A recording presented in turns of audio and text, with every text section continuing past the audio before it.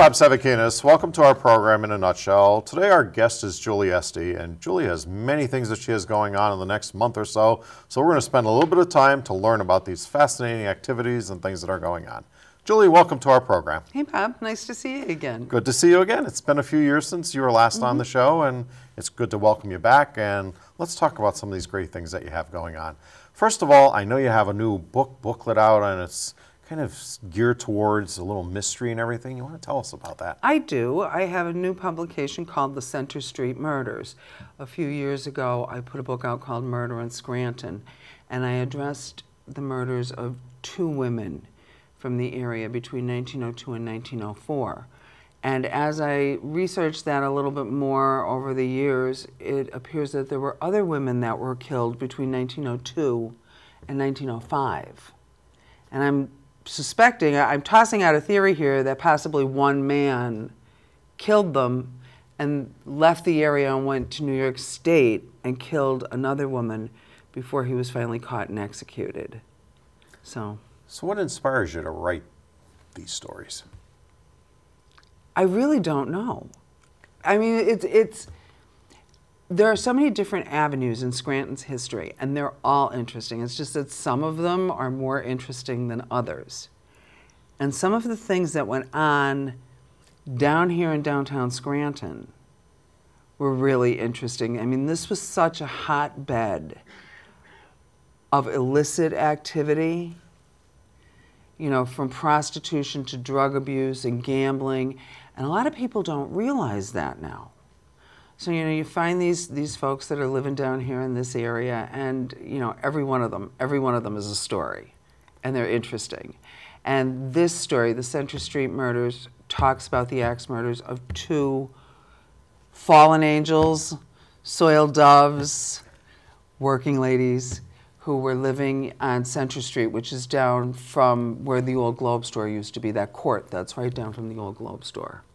So for someone who's interested in finding this booklet, purchasing and everything, where can they find it? How could they get it? Um, they can get it from me on tour days, which I'll be in the Dunmore Cemetery on October 1st and 8th. Of course, the wonderful Lackawanna Historical Society is going to have it. The Library Express will have it very shortly. And we have a, a big event coming up on September 30th at the Viewmont Mall. It's a history fair, and I will be there along with some other wonderful groups that have all kinds of wonderful historical wares to, to sell and enlighten people about um, at the Viewmont Mall. So we're going to be available. Okay. How did how does this compare with the last booklet that you did as far as like your research and what you had to put into making this book booklet come out? The last thing that I did was a cookbook. Okay. And that was all recipes from like the 1920s and the 1930s. So, you know, it's, it's just a whole different group of ladies. You know, the last book was women who were taking care of their homes and they're entering a contest with the local newspapers to try and win a prize and have the recipes published. And this book is about ladies who are doing something totally different than the ladies making boiled cakes. All right, these ladies have a whole other different hobbies. Yeah, well, again, they're working ladies and, and they're living a very hard life. You know, and, and I address that at the end of the book. You know, four women were killed between 1902 and 1905. All of them had very similar causes of death with their heads being bludgeoned. And of course, at that time, police did not have the know-how, it's not their fault. They just didn't have what we have available today to solve this. But one of the things I'm trying to say here is what would have happened if these weren't working ladies? Suppose they were a, a higher social class. Would they have would would their deaths have received more attention and more investigation than they did? Then you have another lady who's involved in this whole thing and she comes forward after the murders of the years after the murder of the two women on Center Street. And she said, I was living with this man, I was married to him. You know, now he's in New York State. They're going to execute him. I'm telling you, he was here. I married him. And the police sent somebody up to New York State to question a man who's about to be executed and say, were you living in Scranton, Pennsylvania? And, and, and like, Bob, what would you say? you know, he said no. And the police believed him. Well, I found the woman's marriage license. There were spelling errors and she wasn't lying. She was telling the truth. So it, here you have a case of a woman who's trying to tell people something's going on and nobody's believing her. How do you get involved as far as the research of all of this? It just How much time does this take for you to put this together? A lot. This is years. This is years. This actually started about 17 years ago with a woman who turned up on outside of the train station wearing men's clothing. She was not identified in a newspaper article and she was categorized as being drunk or under the influence. Well, all these years later, I've identified her, and she factors into this incident with these two women and the man. You know, she was married to this man who ends up being executed. She, she claimed to have been following, she knew he, he was going to leave. She claimed to have been following him, and, and her idea of a disguise was to dress like a man.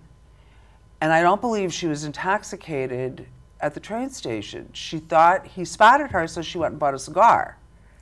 Well, you give a lady a cigar, you know, maybe she stood there and inhaled it. She, maybe she's not intoxicated. She might be sick from inhaling a cigar.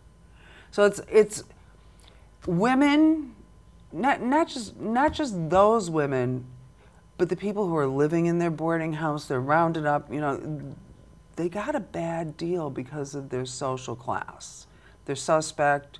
You know, people are questioning, well, of course they did it, and this one could have done it, and whatever. And in the end, a man ends up being accused of this, and it's like, case closed, he did it because he committed suicide. Well, he can't defend himself. So it's a There's a, there's a whole mess of stuff going on here.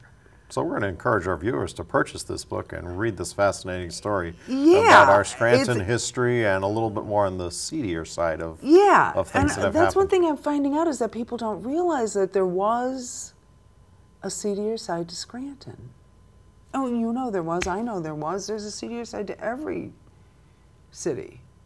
So, we're going to encourage our people to check this booklet out and everything, and Mm-hmm. we could buy this and find this at a history fair that's going to be at the Mm-hmm. Viewmont Mall. And tell us a little bit more details on that, because I have a list of all the different vendors and organizations that are going to be there, various historical societies, and yourself as well, and the Carbondale Historical Yep. Society, the German Historical Society, and various others. And again, that's at the Viewmont Mall. Yes, and from what I understand, it's going to be a great time. You know, anytime we all get together, you know, not only is it good for all of us in the organizations that that we we represent, because now we're all together and we get to talk to each other. We're out and about talking to the public on a large scale. So you know, like I really hope a lot of people turn out for that. You know, there's just going to be so many interesting people there. Like like you said, the Carbondale Historical Society. We have the library system, Old Forge Historical Society, the American Legion. You know, Steamtown. You know, that's a good deal. If you're interested in history, it's a good place to turn up. And that's going to be at the Viewmont Mall on September 30th from 10 a.m. until 4 p.m. Right. And it gives you a chance to maybe even start thinking of buying some early Christmas presents or something. Do I even say that word No, Christmas? absolutely, absolutely. Great stocking stuffers, great stuff for the history nerd in, in, in your household. Better yet, think about the people who have left the area. You know, you want to send them something that reminds them of home. Great place to stop and pick up goodies. So we have a great opportunity to meet with about a dozen, maybe 20 organizations or Yeah. so. So it sounds like another fun day of good mm-hmm. activities here in Lackawanna County. Julie, let's talk about what you're probably most famous for, which is the Dunmore Cemetery oh, Tour. Yeah. The manager, coordinator of that. Tell us what to expect and when the Dunmore Cemetery Tour will be happening this year. We are out, the dearly departed players and I are out in the cemetery on October 1st and 8th. Our tours will start at 2 o'clock. Again, as in years past, it's an all new tour. We've got some really interesting folks on it this year. None of them are famous. They are all regular people who have had very interesting things happen to them.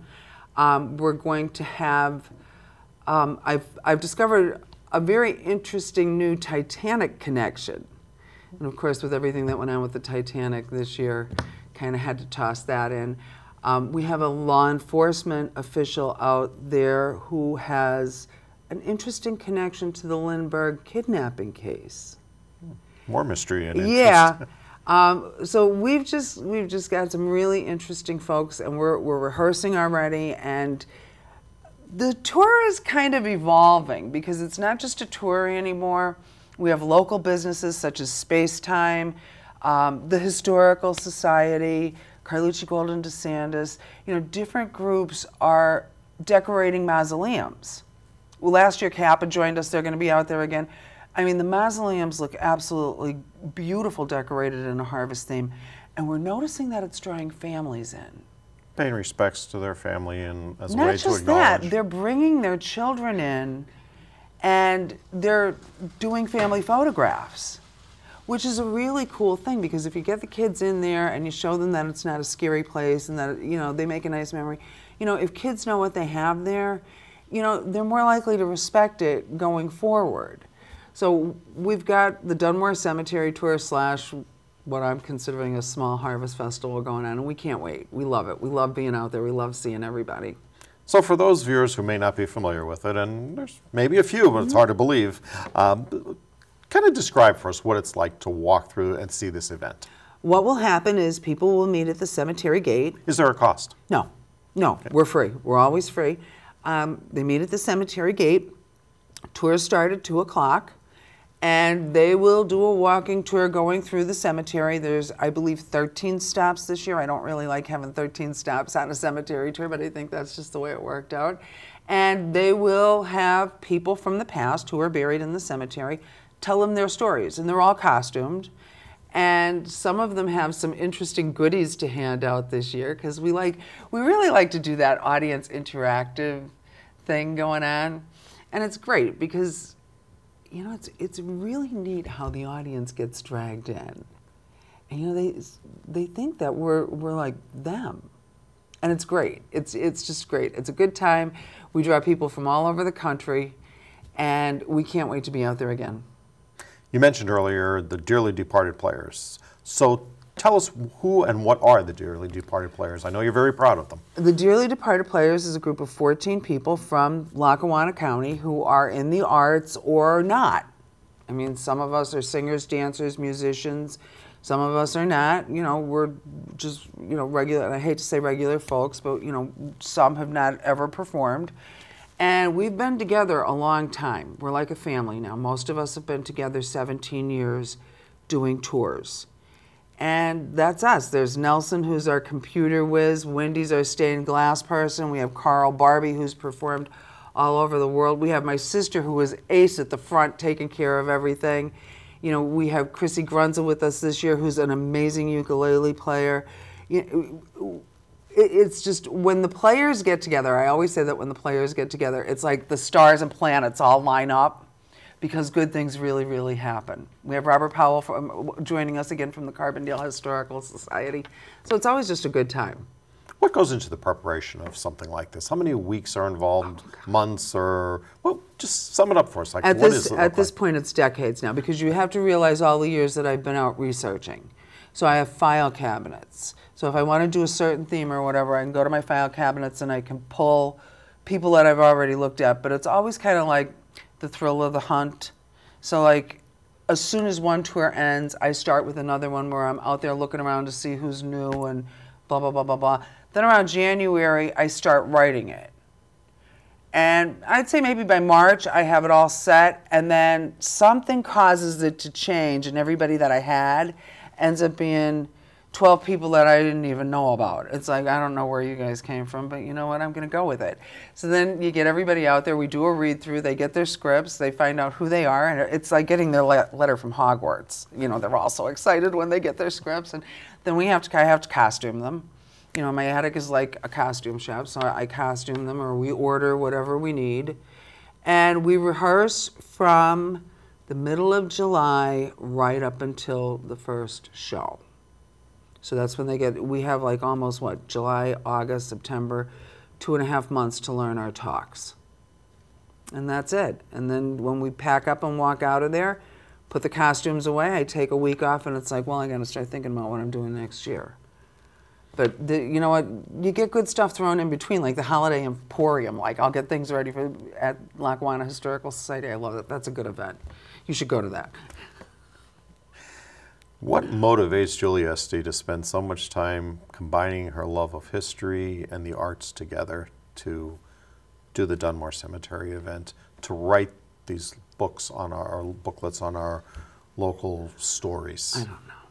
The only thing I can think of is that when I was a kid, everybody was reading all these kid books, and my my father brought me a book about the Lincoln assassination, and I got hooked onto that avenue, and that brought about the Civil War thing that I do and the mourning thing that I do. And then I ran into a wonderful educator who, in fact, I am putting her on the tour this year, T.C. Connolly. She was my eighth grade history teacher, and she just lit a spark for not just me, but many people. And of course, T.C. authored the book about the Gravity Railroad. And, you know, she's, she's a lot of the reason that I do what I do. I think she'd be horrified with this. She's like, can't you find something nice to write about? Because this isn't like a nice thing.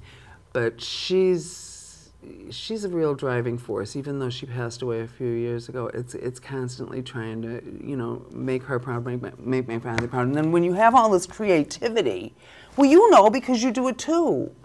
It's this constant need to create. So every year I create a small city out in the Dunmore Cemetery, and that's the way it goes. You create films. You know, it's just, it's our makeup. It's a nice way to put it together that you create a city in the Dunmore Cemetery. Yeah. It's a very nice way to put it. So, Julie, what do we have to look forward to in the future? Any projects in the back of your mind right now that you're thinking of other than Dunmore Cemetery I just want to get through 2024? I, ju- I I just want to get through a tour. I just really, really want to get through a tour because now it starts to get hairy. I mean, it really, really does. It starts to get hairy. If my daughter decided to come home for a visit now, well, uh, she can't because there's really nowhere for her to go. There's costumes all over. There's props. You know, there's there's publicity, all kinds of stuff. I just want to get through a tour and coast into the Highland. Like I look toward that Emporium deal, like, oh yeah, you know, because it's just a lovely event at the Catlin House. It's so pretty.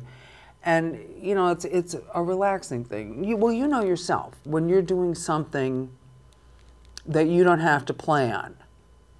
And just be a part of. It's just really, really nice. So that's it. I'm looking to coast through, get through two tours safely, and coast into the holiday season. Well, Julie, it's wonderful having you back on as a guest. Tell us about the book again, quickly. It is the Center Street Murders. Okay. And it is an interesting tale of things that maybe not so pretty side of life in Scranton, Pennsylvania. And you can get it at the Lackawanna Historical Society or the Library Express or on the Dunmore Cemetery Tour. Okay. Uh, we have the event at the Viewmont Mall with uh, local organizations getting together to promote local history and storytelling and things like that. Um, and then we have the Dunmore Cemetery. And when are the dates again on, on October 1st and 8th. Admission is free. It's a two hour tour. Comfortable walking shoes are suggested. About how long is the tour now? I think it's probably going to run about an hour and a half. Okay. Depend. It always depends on the size of the crowd. If you have 800 people, moving 800 people through a cemetery takes a little bit because you got to wait for them, you know. So it depends on the size of the crowd. But and we have had up to 800 people in one audience at a time. Well, congratulations, Julie, on another uh, historical research book that you're getting out there. Another, we know will be a successful cemetery tour again, and just all the things that you do in our community on keeping history and storytelling and the arts alive. So, Julie, I want to thank you for being our guest today. Thank you for having me. It's always a pleasure. I'm Bob Savakinus. Thank you for tuning into our program in a nutshell.